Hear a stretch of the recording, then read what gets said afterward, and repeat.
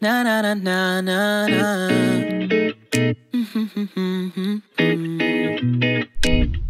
yeah.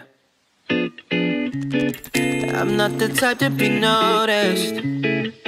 Cause I'm barely five seven. Hi, welcome to another vlog. Oh, if you're new here, welcome. My name is Roshadha and I'm a first year at NIBM studying ethical hacking and network security. Right, so today I wanted to talk about something that I really wanted to share for a long time. The reason why I was taking my time was because this topic is kind of sensitive, so I didn't want to offend anyone. But however, here we are. Oh, before all of that, as you know, I'm a uni student, so there are something called lectures and I need to attend them or else my mom would try to contact Jesus. So yeah, let's go.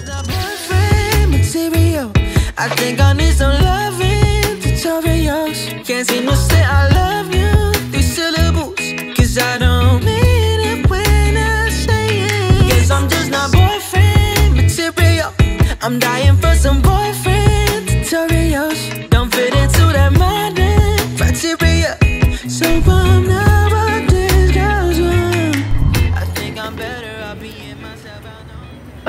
Okay, so this month is my last month inside campus before vacation. And normally, when I was in high school around this time, I'd be jumping around the house and celebrating because I get to have a break from all that high school stress and I get to go on vacations and all that stuff. But since I got to university, my idea of being free or getting a break has taken a huge turn to a completely different direction.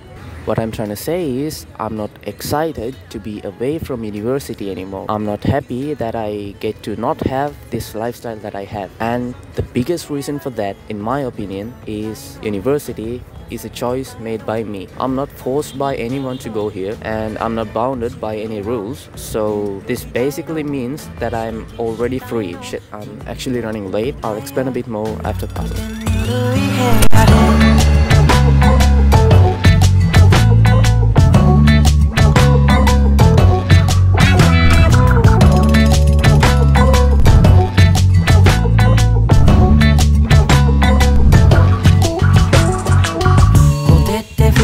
soy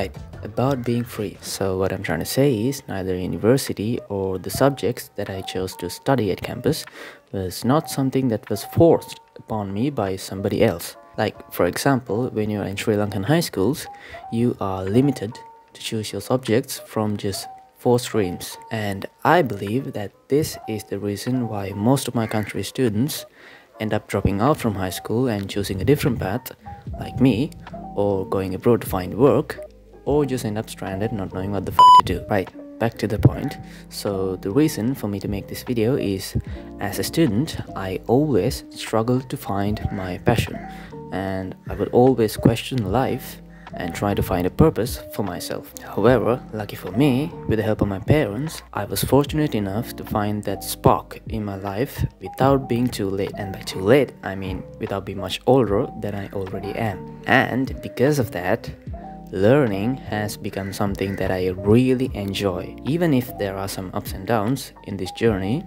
I won't hesitate to go right past through these challenges. Reason being, because it was my choice. I'm the one who decided to go down this path no matter what. So now, for me, all this university stuff and all this studying has become almost effortless. Of course, there are some times that I struggle as well, but you get the point. And if there are students out there who still struggle to find what you really want to do in life or what passionates you or what drives you in life, I really hope that this video will be an encouragement for you guys to achieve whatever goals you guys have in your life. I hope that this video will motivate you guys to find what you want to do in life rather than what you have to do in life and make it a career and live your whole life as a free person. So hope you guys enjoyed the video and that's kind of my rant and guess I'll see you guys in the next one.